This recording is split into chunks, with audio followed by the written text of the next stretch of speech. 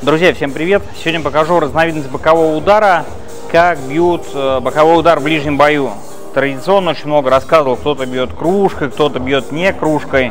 Но когда мы стоим рядом с соперником, нам критически важно, чтобы удар был короткий, во-первых, первый момент. И второй э, момент, чтобы мы максимально быстро возвращали руку для того, чтобы закрывать голову от встречной контратаки или от последующей контратаки. Поэтому мы всегда, безусловно, бьем удар боковой с ногами, но здесь мы можем в ближнем бою короткие удары тренировать именно из положения вот такого разворота.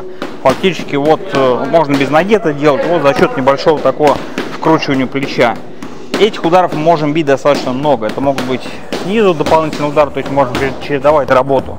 Здесь можно накидывать много. То есть, казалось бы, удары такие не жесткие, но если мы таких ударов попадем достаточно много, сопернику мы, в принципе, можем принести хороший урон. Плюс, где-то каким-то ударом мы можем просто вытащить голову из зоны защиты. Немножко накидали, противник чуть-чуть поплыл, ближний, повторюсь, опять дистанция. И как только немножко соперник потерялся, мы можем здесь уже ударить акцентированно. Соответственно, стоим, накидали, а здесь уже пошел у нас жесткий акцентированный удар.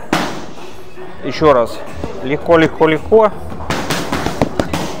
бам, жестко пробили. И не забываем защиту после жесткого удара. Спасибо. Спасибо огромное. Ты пиши прям все подряд. Чем живее, но тем... Вот я и пишу все подряд. Хоп.